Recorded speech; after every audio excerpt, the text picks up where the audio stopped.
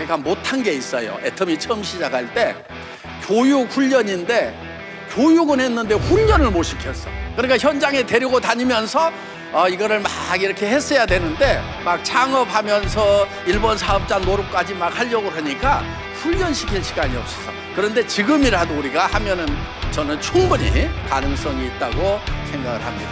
여러분 이 애터미 비즈니스는요 오늘 제가 기준을 얘기해 드릴게요. 어떻게 하면 성공하는지 하루에 100명을 만나세요.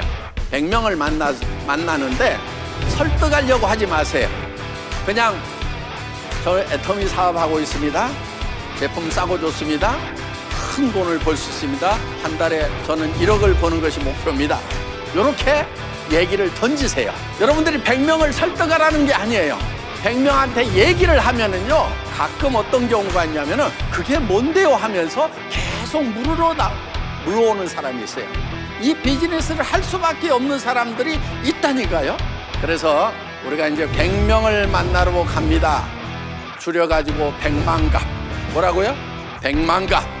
자, 100만갑 운동을 이제 우리 본사 직원들도 다 이렇게 현장에 파견을 해가지고 그걸 할 거예요.